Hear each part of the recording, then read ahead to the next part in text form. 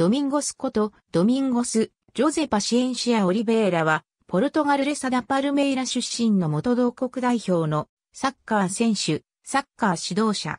ポジションは FW。息子のゴンサロ・パシエンシアもサッカー選手。13歳の時に FC ポルトのユースチームに入団した。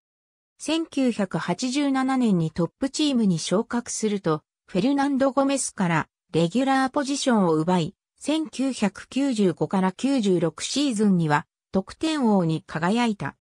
1997から98シーズンにスペインの CD、テネリフェに移籍すると、ロイ・マカーイトにトップを組んだが完全に適用することはなく、2年後にはポルトに戻った。その後2001年に現役引退した。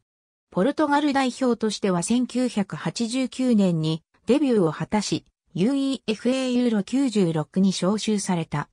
引退後、ポルトのユースチーム及びリザーブチームのアシスタントコーチを務め、2006年に UD レイリアの監督に就任した。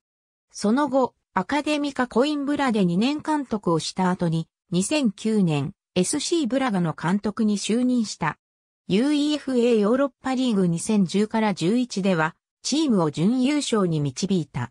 2011年5月13日、スポルティングクルーベでポルトガルと2年契約を結んで、監督に就任した。